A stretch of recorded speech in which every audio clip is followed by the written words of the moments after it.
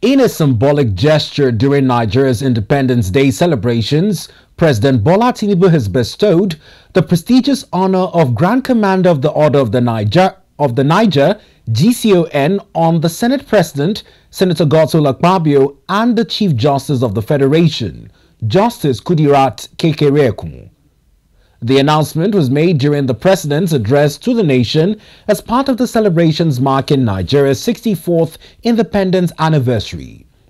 By awarding this honor to two of Nigeria's key leaders, President Tinubu acknowledged their dedication and pivotal roles in the country's governance and judiciary. As is the tradition,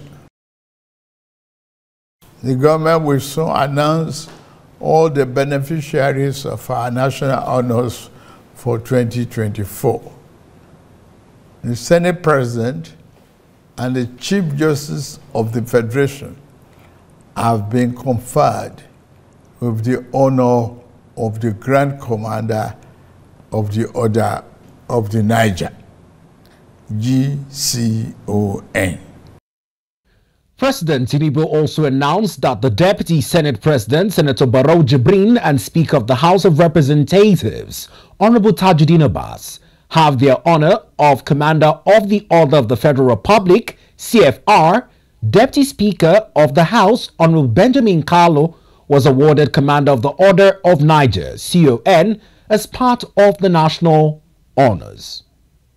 The Deputy Senate President and the Speaker of the House of Representatives have honor of Commander of the Order of the Federal Republic, CFR, while the Deputy Speaker of the House has been awarded Commander of the Order of Niger, CON. The GCON title is one of the highest national honors, recognizing individuals for their outstanding service and contributions to the nation. For Senator Akpabio, the award of GCON is a feat fitting reward for his years of public service to Nigeria, having served as governor of Akwa State 2007 to 2015, Senate Minority Leader 2015 to 2018, Minister of Niger Delta Affairs 2019 to 2022 and President of the Senate from 13th June 2023 till date.